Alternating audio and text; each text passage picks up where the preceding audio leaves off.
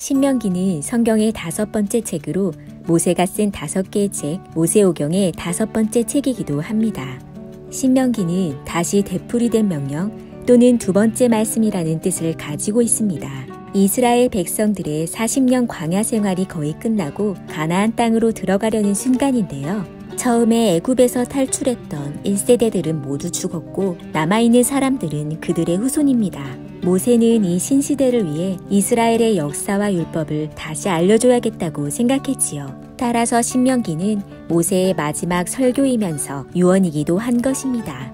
1장부터 4장까지 모세는 이전 세대의 이야기를 들려줍니다. 1세대가 어떻게 불순종하였는지 또 그로 인해 어떤 일들이 일어났는지를 알려줍니다. 이 과정 중에 모세는 비스가 산 꼭대기에 올라 약속하신 땅을 바라보라고 하시는 하나님의 음성을 듣게 되는데요.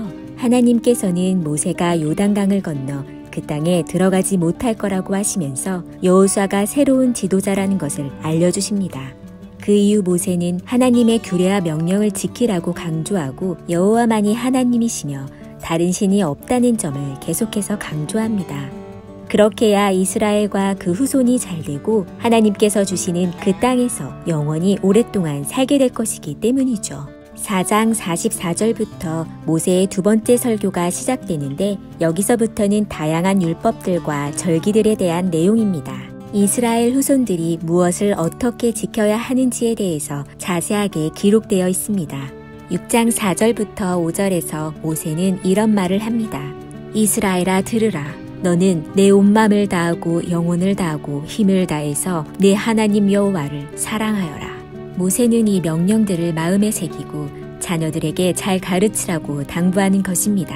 모세는 여호와를 잊지 말라는 내용을 계속해서 강조하는데 이것은 하나님께서 약속하신 땅에는 자신들이 건축하지 않은 아름다운 성들이 있고 자신들이 파지 않은 우물 그리고 심지 않은 포도나무와 같은 좋은 것들이 많기 때문입니다.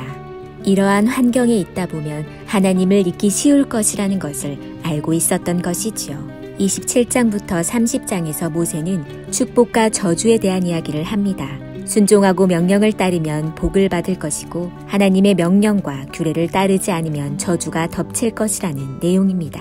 31장부터 34장까지 모세는 마지막 설교의 마무리를 지으면서 각 지파들을 축복합니다. 이 모든 것을 마친 모세는 산으로 올라갔고 하나님께서 이스라엘에게 약속한 땅을 바라보며 거기서 생을 마무리합니다.